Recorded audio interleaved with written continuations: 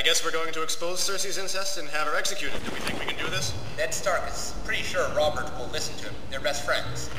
Where is Stark? I think he's looking for Robert's bastards to use as evidence. Okay then, here's the plan. I'll start by sending ravens to all the houses loyal to the king, informing them of Cersei's crime.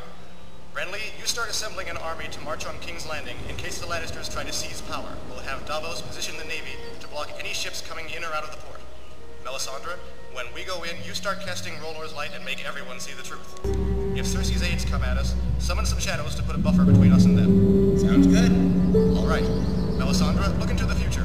What would you say is our chance of success? Well, based on previous attempts to accuse royalty of adultery and what I see in the flames, I would say we have uh, 32.33. Repeating, of course, probability of ousting Cersei. Well, that's better odds than we had in the war against the Targaryens. Let's start preparing. All right, time to confront Cersei. Eddard Stark! What the? Oh, R'hllor, protect us. He just told her everything we know. Wait, so we following him or what?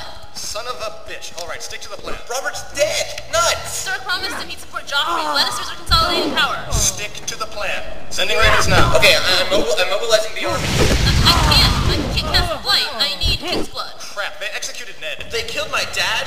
I'm riding on King's Landing. No, no, no, no, no, no. Stick to the plan. The plan? Screw that. I'm King of the North. Just try taking on my epic familiar. Hey, wait a minute. I've got the army. I'm king. I'm the eldest brother. I'm king. Yeah, you moron! Fine. You don't like the plan? Melisandre, start casting. I, I can't breathe. Damn it, I'm dead. That takes care of one of them. Oh, great. I lost cut my head off. Hey, can someone resurrect me? Sorry, you're thinking of Thoros. Um, the Lannisters are still really strong. Maybe we should. All right, we'll go to the wall. Ned, you are just as stupid as hell.